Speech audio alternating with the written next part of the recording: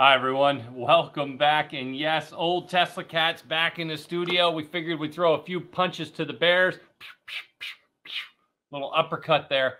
Welcome back. And of course, I hope you are having a great day. Uh, some of you might be a little bit tired. National championship football game, at least those on the East Coast. We watched Georgia just absolutely dominate. And hats off to both teams for making it to the championship. And congratulations to the Bulldogs. Now, with that being said, there's a lot of things out there when we get back into this market. And the question becomes what's going to happen? And it kind of reminds me of that football game. We go into this, we're optimistic, we want to see things happening, and we think it's going to be a fair match, us versus the Fed. But the Fed is not going to be easy on us. And I think they continue to overdo it, and it leads us into that recession. So even though we have a few green days here and there, and just like yesterday, you watch that market just rise up. It was a beautiful start and it came crashing down. And we ended up with the S&P 500 a little bit red, which we'll review a little bit. But uh, the big thing is what's going to happen. And they're worried about inflation. But here's the thing. I'm telling you this right now. A stimulus check will be on the way, I believe, before the end of 2024. Why? Why, Moe? Why would you believe that? Because if you check the last three recessions, the major big, you see these stimulus checks coming out. We had the 2020, we had the two other ones before then, major stimulus checks, the Bush presidency era. They anytime you have these big uh, uh, these big recessions, the government goes right to stimulus checks. Just give some money out there, prop up this prop up this uh, economy, and we'll see what happens. And so we're going to take a look at what I think is going to happen and a lot of states. And if you don't know this, and I, will tell you what, every time I research this, it is eye opening. So if you're like, I wonder if my state's giving out free money, you might be surprised. So I'm going to go over that list too. And uh, of course, we're going to take a look at first things first, though, uh, some of the stocks out there, including Tesla and NIO. Now, before we do, make sure you take advantage of this link for Moomoo. Deposit $100, get five free stocks worth up to 10,000. Deposit 1,000, get up to 15 free stocks. Well, you will get 15 free stocks. Could be worth up to 30,000. And of course, the Webull link, deposit $100, get up to 12 fractional shares. Take advantage of both of those. I always tell people you like to have multiple accounts and you can't beat it uh, out there because Webull gives you fractional shares and Moomoo has one of the best stock screeners in the business. So take advantage of that. Uh, now, come on over to the Patreon as well down below. I do have the link in the description for that. I've been putting out, I started finally getting to put out the Patreon only videos for the members. So you guys can go over and check that out as well as here on YouTube. And we have anybody, a Tesla Cat supporter higher, that will be pinned in the comments, or you can find that link in the description. Now, as we take a look at what I wanted to show you already, which was the market yesterday. And you can see this right here. We had Tesla up almost 6%, NIO up 3.76, and they were up a lot more until the market came down. All right. And so when you see the market coming back down, and you can see this right here, it was a good day. And all of a sudden, what was a good day uh, ended up going down to 1.46% down off the top. And then on top of that, you, you ended up red. It wasn't even up for the day. So I thought it would have been a great day, but it didn't. Now, for those wondering, for those in the Patreon, you know I ended up buying a triple leverage short, an inverse position for an ETF, and we made some good money off of that. It was up 5% before the end of the day from the initial purchase, which I made a video on yesterday. So for those who are wondering, yes, we are out there doing what we believe needs to be done. And the, the big the big thing is everything's coming down to the government and it's coming down to the Fed. The Fed's fighting the government. For those that don't know, the, the main issue right now is inflation. Inflation is so hot in the states that the Fed is just absolutely cutting any ops, uh, any opportunities out there for growth for the economy and a lot of businesses by raising these rates up. In doing that, they're trying to bring inflation down, but it's also going to hamper the growth uh, the GDP and a lot of other things. It's going to bring real estate back down. Unemployment is going to go higher. Make no doubts about it. You will see unemployment above 4%. I actually believe it could get up to 5 to 6% before the Fed is absolutely done. They are nowhere close to being done with what they want to do. The damage will be done because they're going to hurry it. They could be patient. We could stretch this out a year or two and everything would work out fine. But they're going to continue to raise rates when they don't need to. And thus, it's going to push us into a major recession. And thus, you're going to have what? That's right. You're going to have a federal stimulus check. Call it the fourth stimulus check. I expect stimulus checks in 2023 or 2024 from the government. And depending, and I'm talking about the Fed, depending on how bad this is, how bad of a recession we get. And yeah, I still believe we're going to have one. And no, I'm not a I'm not out here trying to, to spread fear, uncertainty, and doubt.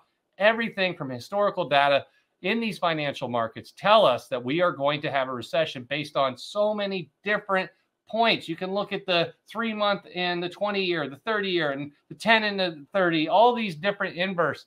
Uh, uh, and when you watch that, and you see these, and you know over history, it means 90 to 100% chance, depending on what you're looking at. Every time it happened before, you had a recession. Why am I going to go against that? I'm not. Even though everybody's going to come out and say, "Oh, we're gonna we're gonna do well, we're gonna have a soft landing," I don't believe it. And they're not talking like they even want a soft landing. They want real estate to drop. They want unemployment to go up. They want inflation back down under 2% very quickly. They don't want to wait two years, three years. They want it down now. They messed up. It was not transitory. They look like they didn't know what they're doing. And now they're here to make amends. And so when that market went higher when it shouldn't have, and everything was supposed to be, oh, yeah, it's just transitory. Everything will be fine. It'll be a normal market. And then it blew up. They got mad. Now they're going to make sure they fix that. And so that leads us into this. Uh, and there, and for those who don't know, major news. If you didn't see this, IRS announces an average payment of 1,232 sent to millions of people. Start, and they just did it. Why? What's it based off of? I believe here it is, uh, the American Rescue Plans Act back in 2020, and it dealt with the unemployment back in 2020. And so a lot of people, and you can just pause the video here and read it, but 12 million refunds were sent out and are going to be sent out here. And this totals $14.8 billion that's going to be sent out to everyone. And so if you're wondering and you're like, what? Specifically, up to 10,200 unemployment benefits were paid out in 2020 would be excluded. So in 2020, if you had unemployment benefits, they're supposed to be excluded. Uh, if you are, uh, you can read it right here. Taxable income for each spouse. If a couple filed their taxes married, filed jointly, the exclusion was applied for those who made under 150,000. And so that's 12 million people. And so there you go. There's your first stimulus of 2023, but it's not because it was already part of what they were doing back then. And then we move into the states. California, millions of Californians getting inflation relief checks, either as direct deposit or debit card. Uh, there you go. And then as we go down, Colorado, they got uh, have filed their 2021 returns by June 30th should have gotten a physical check of 750. And you can see Delaware. You guys can just pause this. I'm not going to read through every one, but you can see it. All these states, all these different states are doing what they need to do. Hawaii out there, boy, I wouldn't mind being out in Hawaii right now. You can read them. Idaho, Illinois. You got stimulus checks all over the place. Indiana, Maine, Massachusetts, and Minnesota. New Jersey, New Mexico, New York, Pennsylvania, my home state. Uh, what do we got here for that one? Um, 260,000 older homeowners, renters, and people disabilities started receiving their part of a massive 121 million dollar payout issued through the property tax and rent rebate. The maximum standard rebate is 650. And there you go. Uh, Rhode Island, South Carolina, Virginia, and that's it. So a lot of states out there doing their their money and getting it out there. So more stimulus. Let me ask a question to the audience. Do you believe we need these stimulus checks out there? And some of you, and I know you're going to get fired up about this. You're going to say these aren't stimulus checks, these are overpaid taxes. Overpaid taxes this year. My argument or whatever year it was is if your state and this is how I feel about it. If your state has any kind of deficit, any kind of debt that it hasn't paid off and it's running, you know, it's way up like our national debt. That needs to go pay that off because that was years that your state paid, uh, it ended up spending more than they took in in taxes. So that one year you finally have taxes paid more than was needed, everybody wants it back. Well, that's not how it works in a regular household. If you overspend one week, future weeks have to pay that off. And that's the way it should be with the government. We can't give them a pass and say, "Oh, go ahead and spend all you want." Oh, we did we paid too much this year. Oh, let me have it back. It's not how it happens. You got to pay off old debt too. All you're doing is strapping this on for future generations, which is not fair. It's not fair at all. And all we do is kick the can down the road because, hey, I'll let them worry about it. Uh, to me, it's just sickening watching this happen year after year after year. All right. So let me know down below. Do you believe the federal government in 2023 or 2024 should have another stimulus? Do you believe these states should have another stimulus that they've been doing? That you know they already did it.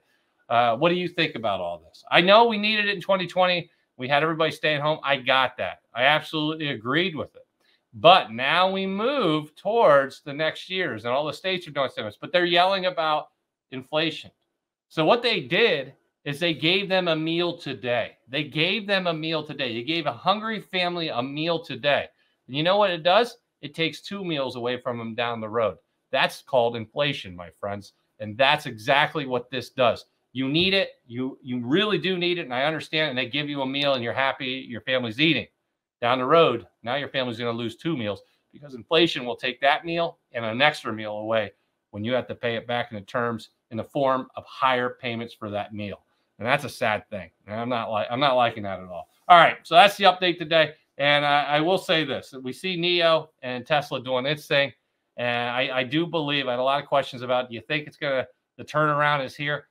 I'm hoping that if anything, we have already hit the bottom and maybe trade sideways for a little bit as we go through a recession, down a little bit during a major one, but nothing too, uh, nothing too much. And that's what I'm hoping for, especially for NIO and Tesla. But we'll wait and see. I don't have a crystal ball like some of the people in DC. If I did, I would let you know. All right. So that's the update. If you haven't done it, get those free stocks from Moomoo and Webull, $100 deposit for each. Click the links in the description. Come on over and join me at the Patreon. You can see the private Discord, see the portfolios, the buys and sells, the high risk, all of it. And now we have Patreon only videos over there. Plus, we have that on YouTube for Tesla Cast supporters or higher. Take advantage of it. I appreciate you stopping by. Let's get out there and make some money.